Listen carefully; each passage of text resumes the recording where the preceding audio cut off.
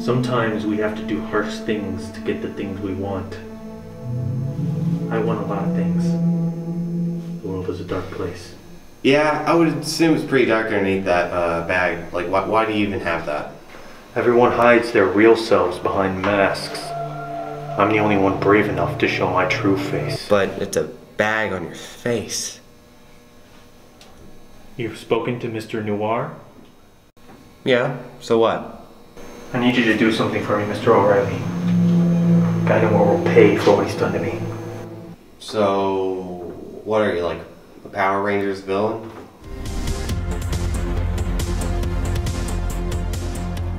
This job fits me like one of those plastic squares fitting in one of those child playthings. I don't know how, but it just works. I'm the square, and the job is the square hole. I don't even know what I would do with my life if I was fired. What?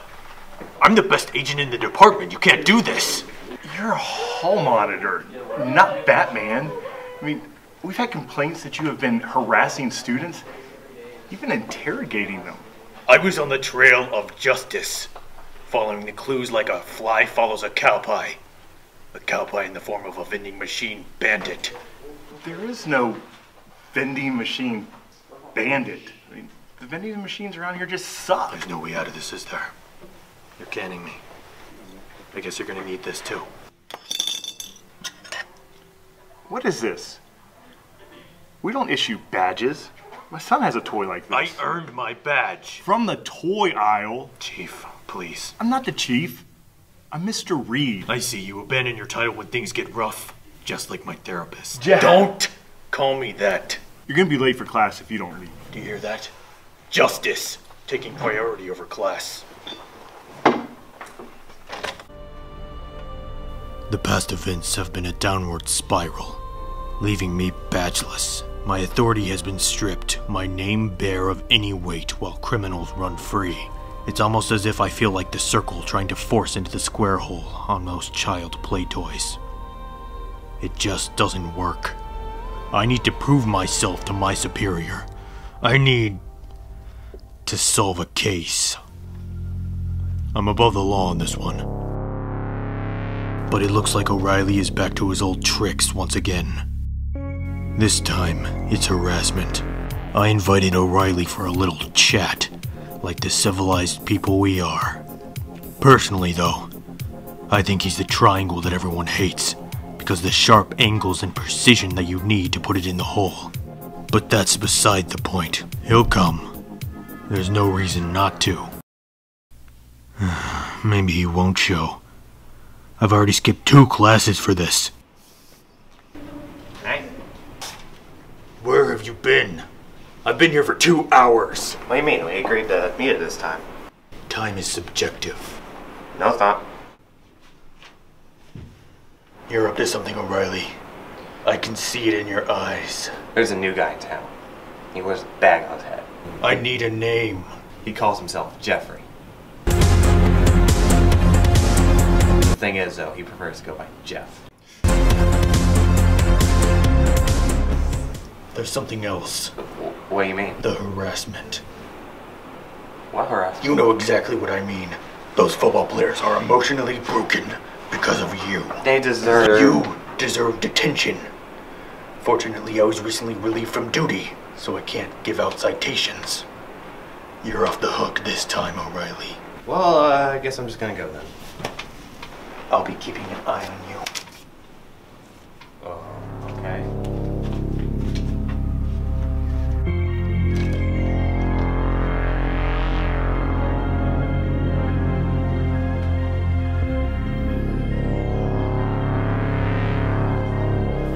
Bag.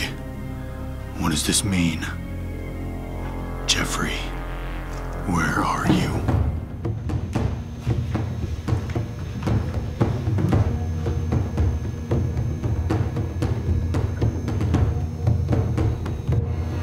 What do you have for me, O'Reilly? Guy Noir's on the trail. Hmm. Good, good.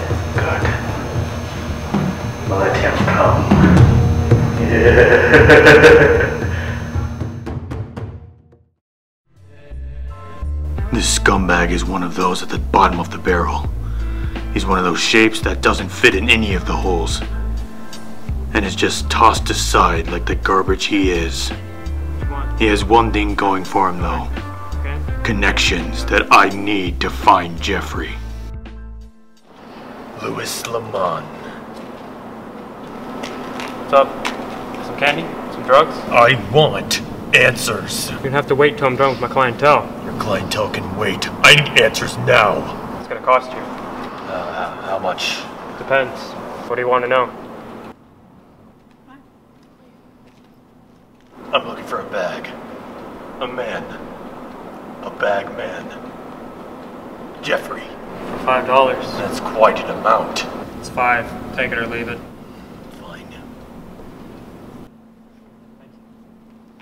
Yeah, I know Jeff. What about him? A Jeff with a bag on his head. For not a five dollar? I'm above the law. I could beat you to a pulp if I wanted to. Oh, bro, no. Where is he? Bro, no. Oh, man, that really hurt. Where? Okay. Jesus, some people are really violent. Now, since I'm a convenient plot device, I know exactly where he is. This school fears me. I channel fear and put it into the eyes of my enemies. Hey, guy. Like I said, this school fears me. The exception? Bagman. That changes today. Today I will strike fear into his heart. His small paper bag heart. I will crumble it up and toss it into the hell that he was forged from.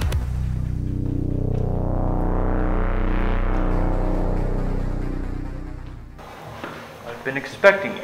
Cut the crap, cheese bag. I am not a cheese bag. I am in fact a paper bag, as you can clearly see. I'm here to avenge the chief. You killed him. You see, guy, I used the chief to get your attention. You see, he sleeps on the job all the time. All I had to do was put a bag on his head at the right time, and you would think that I had killed him. I knew you would be too stupid to check his pulse and too deaf to hear him snore. You bag of baloney. Why are you doing this, Bagman? What is your end game? I wanted to prove to you that I'm better than you. I have done nothing illegal, guy. Your vanity has made me the villain. But I am in fact the hero, and I'm a better hero than you will ever be. You see, guy, I am the new sheriff in town. Where did you get that? The chief gave it to me. I've replaced you. The chief doesn't issue badges. I'm that good. He's right. He hasn't done anything illegal.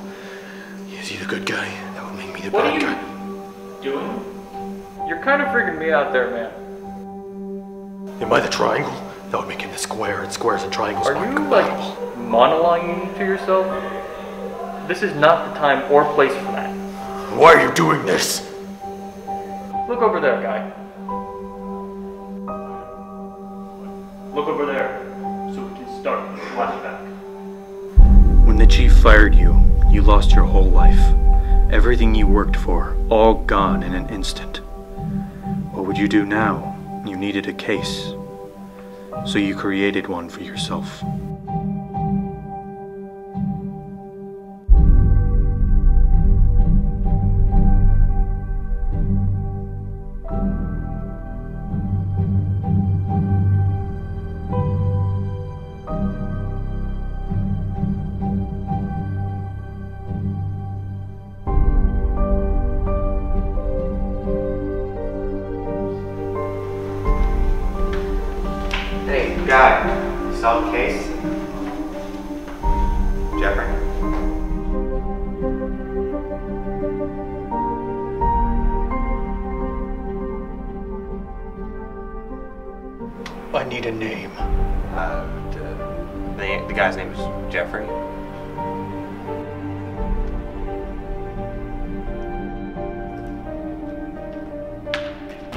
Okay, so uh, when Jeff comes to talk to you, tell him.